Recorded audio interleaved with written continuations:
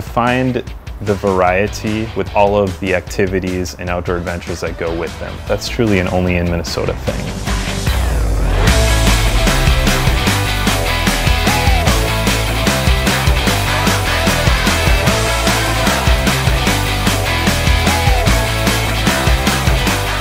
So there's a huge variety of outdoor options for just a big range of people. And we have deep woods and beautiful lakes and rushing rivers. So if you want to get away from civilization, have an adventure, it's pretty easy to do here in Minnesota.